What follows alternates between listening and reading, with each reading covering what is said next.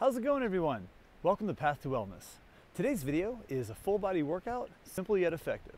So if you're not yet subscribed to the channel, please click the subscribe button and check the bell so you're notified in my new videos. All right, thanks a lot.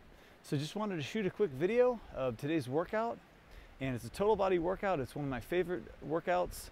It's really simple. It's just a pull, push, and a squat. And here's how it works.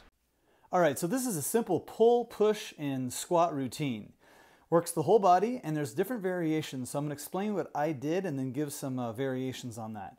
So what I did is I set a timer that beeps every one minute and 30 seconds. And every one minute and 30 seconds, I would do five weighted pull-ups, 10 push-ups, and eight weighted squats. And then if I finished in under a minute and 30 seconds, which I always do, then I just rest for, you know, 10, 20, 30 seconds and then start the next set.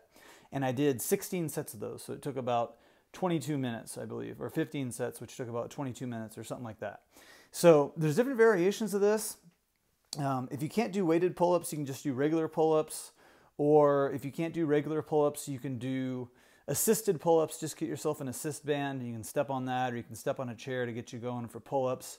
Um, if you can't do that many push-ups, you can just uh, do push-ups on your knees or start out like that. And if you don't want to use weight, you could just do squats without a weight.